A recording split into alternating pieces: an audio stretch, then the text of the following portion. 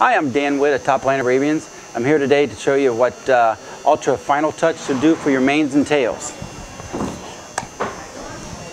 What I like to do, you clean that horse up, give him a good bath, and when you get ready for the ring, clean his mane up and lightly stand back a little bit and spray that in a little.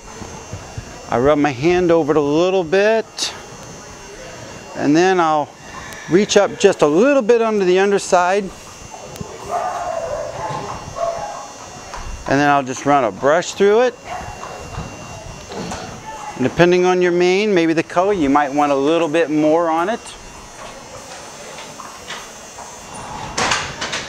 And it just looks shiny and just beautiful.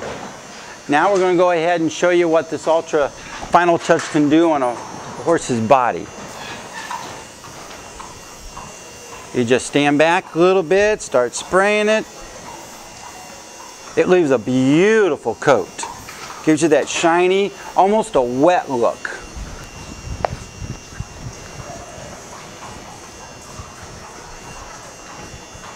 And you can see that shine right there.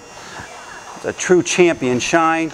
I suggest and recommend highly any Ultra product, the highlighters, any of them.